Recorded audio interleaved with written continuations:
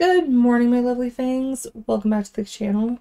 The newcomers, welcome to the Cavern of Secrets. I'm Cassara. Usually I wait until Friday to talk about movies, but I noticed something while watching The Invitation for the second time. I actually didn't know I already watched it, to be honest. I forgot what this movie was about. There will be spoilers, so if you haven't seen either of these, you can stream them. I'll let you know where in the description box below. The invitation, just as a refresher, is about a man named Will who receives an invitation from his ex wife Eden to attend a dinner party she is hosting with her new husband David. Will brings his girlfriend Kira with him to the event, where he finds a lot of his old friends from college are there as well. Eden introduces her new friend Sadie to the group and how they met in Mexico during a retreat David and Eden had attended over the past two years. Later, a man named Pruitt shows up.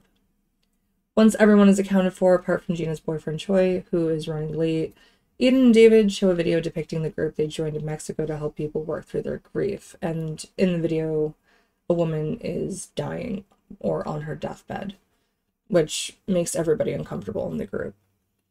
The night progresses and Will becomes more and more suspicious, especially since the doors leading outside are locked and all the windows are barred.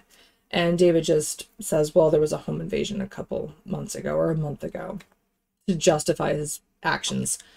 The climax of the film shows Will freaking out about the drinks that were poured for everyone. He claims that they are poison and smashes them, but unfortunately, Gina already drinks some.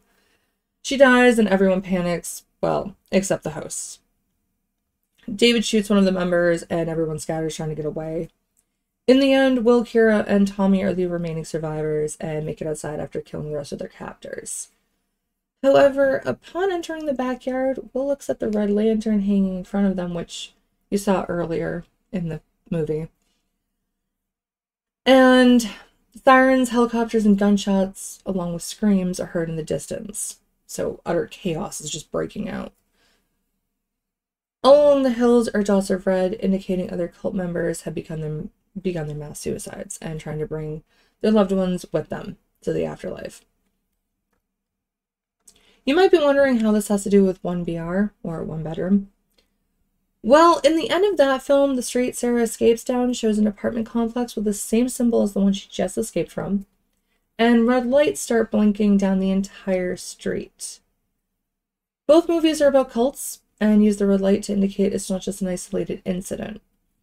I thought it was interesting that both films use the same symbol, red light, and it had me wonder if the two are connected in any way, shape, or form. Now, to be fair, they're they are made by different directors, and it could have just been they inspired one another. However, what if they do exist in the same world? I mean, both chose the LA setting for their films, and both talk about conditioning changing how one handles the world around them. The invitation focuses on grief and trauma, how people who don't deal with it or can't deal with it live a life of misery.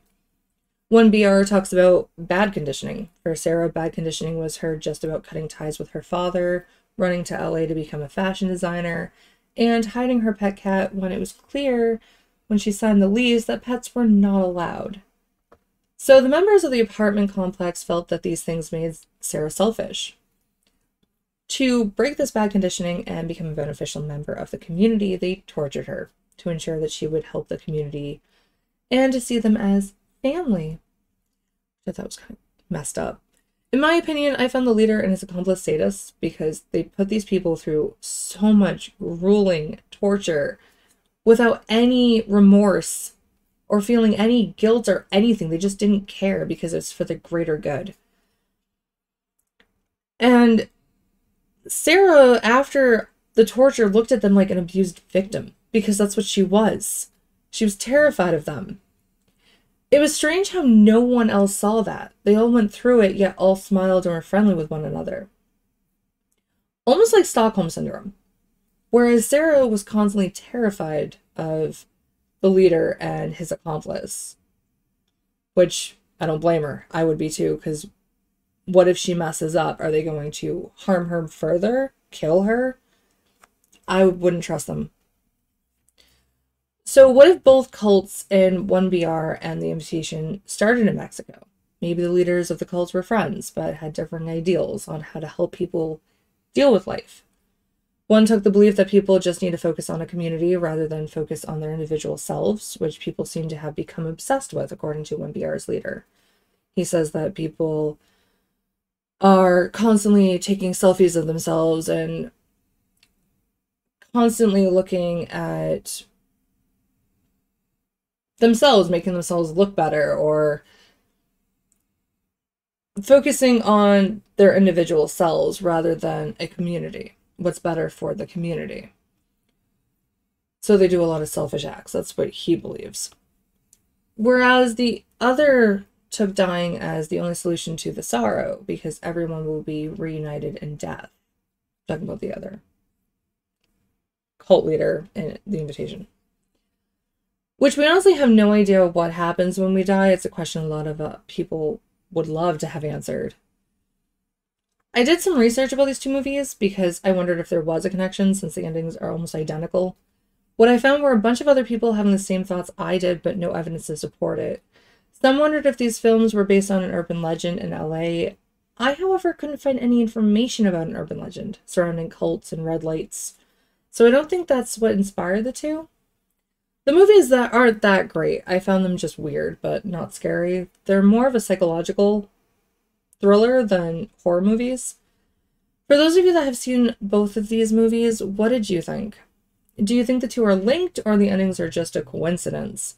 Thank you so much for watching. I hope you have a fabulous week. Take care until next time. Bye, everyone.